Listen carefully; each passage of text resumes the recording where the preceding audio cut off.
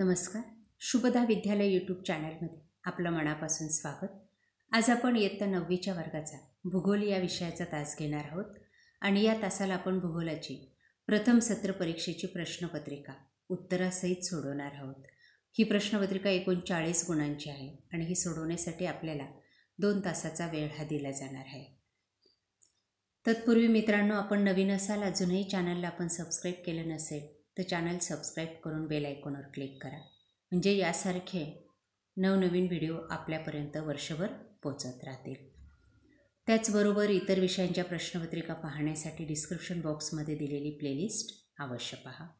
इयत्ता नववी भूगोल प्रथम सत्र परीक्षा गुण चाळीस वेळ दोन तास. प्रश्न पहिला योग्य पर्याय निवडा पाच गुणांसाठी. चालू शैक्षणिक दोन हजार चोवीस पंचवीस या वर्षासाठी ही प्रश्नपत्रिका आपल्याला उपयोगी पडणार आहे. पहिलं त्रिभुज प्रदेश हे तृतीयक स्वरूपाचे भूरूप होय. दुसरं हिमगव्हर हे हिमनदीच्या खनन कार्यामुळे तयार होते. तिसरं पर्वतांच्या अडथळ्यामुळे प्रतिरोध पाऊस पडतो.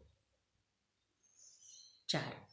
एखादा घटक प्रदेशामध्ये मुक्तपणे विखुरलेला असल्यास अशा घटकाचे वितरण दाखवण्यासाठी टिंब पद्धत अधिक सोयीस्कर ठरते. त्यानंतर पाचवं अंतरंगातील मंद भू हालचाली गतीवर गती या घटकावर आधारित आहेत. त्यानंतर ब भाग योग्य जोड्या जुळवा. पाच गुणांसाठी. गाळलेल्या जागा आपल्याला पूर्ण लिहायच्या आहेत. पूर्ण लि विधान लिहायचं आणि त्याच्यात ते तो शब्द टाकायचा आहे. तेव्हा आपल्याला पाचपैकी पाच गुण मिळतील. ब भाग योग्य जोड्या जुळवा पाच गुणांसाठी. अ गट. एक भूजल. क विलय विवर. दोन वारा. अ भूछत्र खडक. तीन नदी. ब धबधबा. चार अभिसरण ड विषवृत्तीय प्रदेश. पाच प्रतिरोध पर्जन्य. ई भारतातील मोसमी पर्जन्य. या पद्धतीने जोड्या लावायच्या आहेत. त्यानंतर प्रश्न दुसरा एका वाक्यात उत्तरे लिहा. कोणतेही? पाच पाच गुणांसाठी. एक वृष्टीची विविध रूपे कोणती? उत्तर हिम पाऊस गारा दव दहीवर आणि धुके. ही वृष्टीची विविध रूपे आहेत. दुसरं सममूल्य रेषा म्हणजे काय? समान मूल्य मूल्ये असणारी रेषा म्हणजे सममूल्य रेषा होय. तिसरं ग्रेट रिप्ट व्हॅली ही खचदरी कोणत्या खंडात आहे?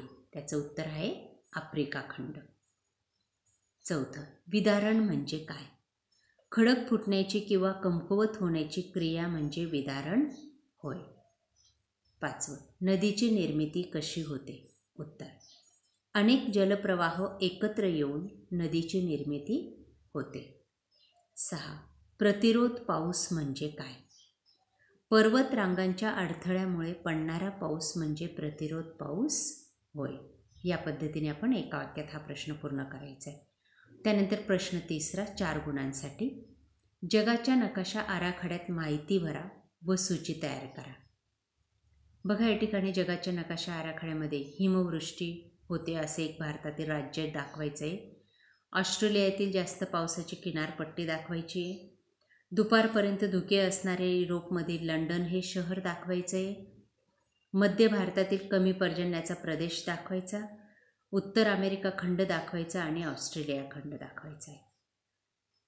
नंतर चौथा प्रश्न पुढील विधानांची कारणे लिहा. सहा गुणांसाठी. एक महाराष्ट्रात हिमवर्षा होत नाही. दोन ज्वालामुखीच्या उद्रेकामुळे भूकंप होऊ शकतो.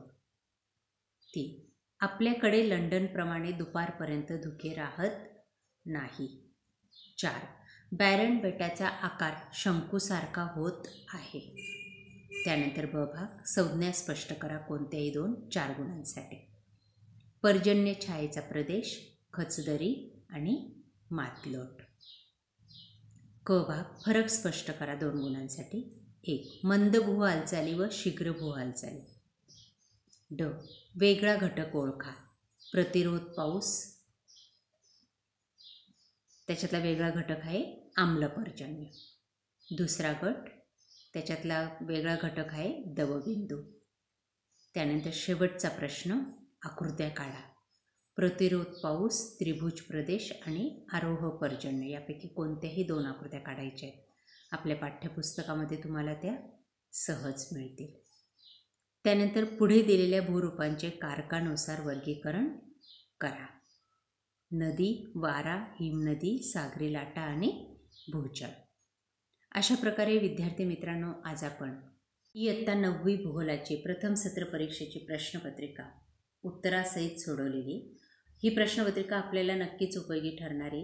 यासारखे नवनवीन व्हिडिओ पाहण्यासाठी आपल्या चॅनलला सबस्क्राईब करून बेल आयकॉनवर क्लिक करा म्हणजे नवीन व्हिडिओचे नोटिफिकेशन आपल्याला सहज मिळेल. व्हिडिओ आपल्याला उपयोगी वाटला असल्यास व्हिडिओला लाईक करा आणि आपल्या मित्रांनासुद्धा शेअर करा. थँक्यू.